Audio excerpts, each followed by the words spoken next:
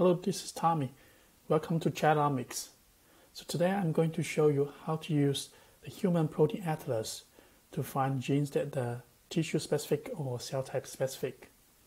And then later in the video I will show you how can you use uh, R programmatically to access this database and exploit uh, in, inside R. So this is the website you need to go to, proteinatlas.org. So first, you can actually just search for a single gene. For example, FOXP3 is a T regulatory uh, cell marker. So if I just do search, and I click here, and we'll show you all the information for uh, FOXP3 related uh, uh, entries here. So you can look at RNA or tissue expression. And if you click uh, immune here, and you can also sort this uh, expression value, uh, those bars by the expression values. You see it's uh, the highest in the Treg. So Protein Atlas actually serves as a really good tool for you to quickly check uh, the marker genes if you have that in mind. Uh, let me show you actually how to use R to programmatically access the database. Let's go back to RStudio. And we will actually use uh, HPAanalyze this uh, bioconductor package. So if you Google, there are multiple actual packages uh, that are developed to access this database. So this is just one of them. So if you don't have it, so you use BiocManager to install this package. So I've already done that. So let me just load the, uh, this library and also together with tidyverse. So then you can use this functional HPA download to download the sum of the data sets. You can specify what kind of data set you want to download. So most of the time you will only need this histology data sets. And this one actually contains uh, three different data, data frames like normal tissue, pathology, so mostly cancers, and the subcellular location. Okay, so let's do that. So you see uh, R is downloading this uh, data set is like only 5 megabyte. Okay. So, okay. Just three different uh, tables actually. So if you look at this one, the downloaded data, it's a large list, so which contains three different elements and three uh, data frames. So if you just say names of this list, you'll see there's three actual name, uh, three uh, elements list, normal tissue, pathology, and subcellular location. Okay, let's take a look at the first table, normal tissue. And this normal uh, tissue uh, data set contains information about protein expression profiles in human tissues based on the IHC staining, so it's at the protein level. So this data sets contain uh, six columns here. So we can take a look at the first six uh, rows for this data frame. So you use the dollar sign to access that element or that data frame and then pipe it to head.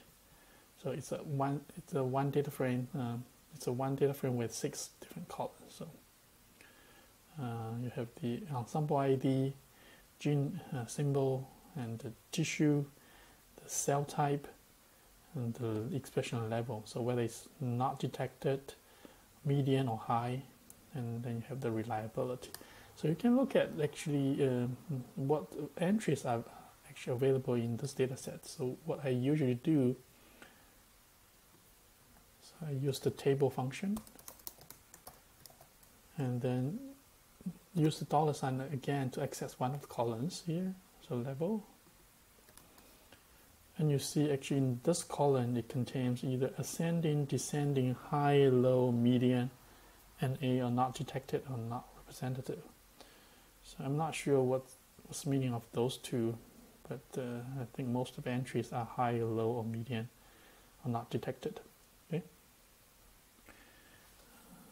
So, so next step, uh, for example, if we really want to find uh, the genes that are smooth muscle cells specific and and you want to find those genes or you want uh, so what we can do is we can first filter the cell type equals to smooth muscle cells and uh, I'm using this a new uh, function called uh, TB, TABYL so it's a it's very similar to the table function the native table function but this one works on uh, data frames. So if you do this and then you'll see actually for smooth muscle cells actually it can be present in two different tissues endometrial or smooth muscle so just one a general suggestion. So you want to actually explore the data frame by using table by uh, using unique and sort and to get a gen general idea like what kind of actual entries in each column. Okay? And so what we can do is uh, because now this data frame is in the long format so you see actually the same gene repeated in multiple rows. So and then uh, each row uh, may represent different tissue or different cell type but you may actually want to look at uh, at uh, uh, per per gene level. So you want one gene a uh, per row and then different columns represent different tissues or different cell types. So the pivot wider function from tidyr, so it's part of the tidyverse system, uh, tidyverse uh, ecosystem, and then you can specify the names that you want to actually. Uh, so pivot wide means you want to turn this long format data frame to wider uh, data frame. So the names from will be like tissue and cell type, like here And the values from will be level. So if you do this, let's actually just run this uh, first. And we'll make this long format data to wide format. So I will show you how it looks like. So, so you can pipe it to view to look at it. So if you do this, now essentially those columns are the same, right? but now each row will be a, a, unique gene, but each column will be the combination of the tissue and underscore uh, cell type. Does that make sense? Okay. And if you want to find, for example, uh, smooth muscle cell uh, specific uh, genes, what you can do after you actually change to this uh, wide format and you can select only filter the rows the smooth muscle and smooth muscle cells only in high or median. so if you do that you see how many. So you have you end up with over 3800 genes. So view data. So this data frame only contains the, the genes that are uh, high or median for uh, the smooth muscle cells in the smooth muscle uh, tissue. Okay, that's pretty cool. And and let's now look at the other data frame. So the the subcellular location. Okay, so this is the uh, data frame, and you always want to look at the first several rows of the data frame and you see so each row is one gene and each column is some uh, information so whether uh, the main location is in the cell membrane, the plasma membrane, or in, in, in the cytosol, things like that. Okay. Again, you want to look at uh, what kind of entries that are available in one of the columns. Then you do uh, this dollar sign and do table, you can also do sort and you see, okay, how many genes are in the cytosomes, how many genes are in the mitochondrial, things like that, okay? So what I will do is that I will uh, filter genes that are membrane pro uh, proteins. So I will uh, pipe it to filter this function and uh, for the main location, as long as it contains plasma membrane or cell membrane, then I consider it as a potential membrane gene. So if I do that, so let's see how many those genes.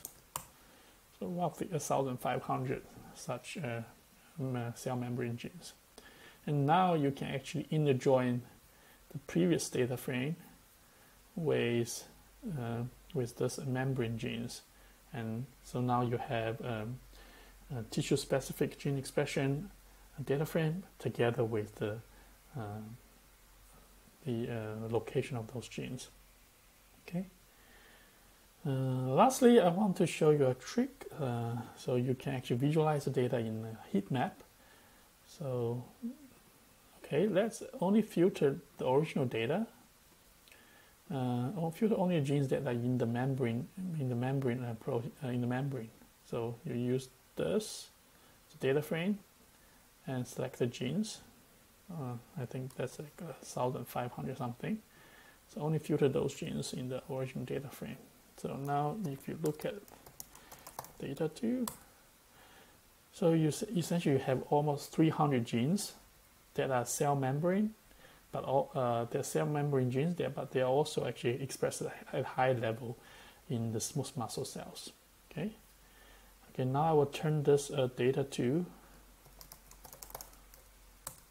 into a data frame, no, into a matrix. So I will remove the first three columns like this. Use S to matrix to turn it to, uh, to a matrix and give the row names as the gene name.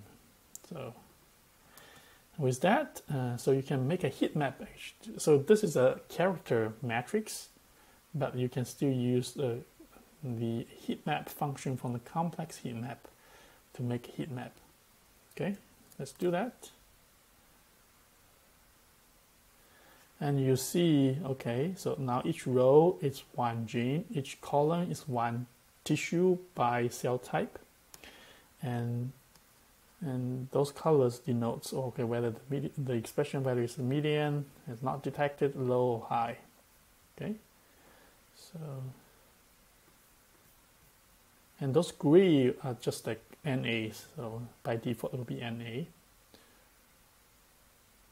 Okay, so you'll see actually most of them are probably median level, but this probably there's still too many uh, genes here, so it's a little bit hard to see. Okay.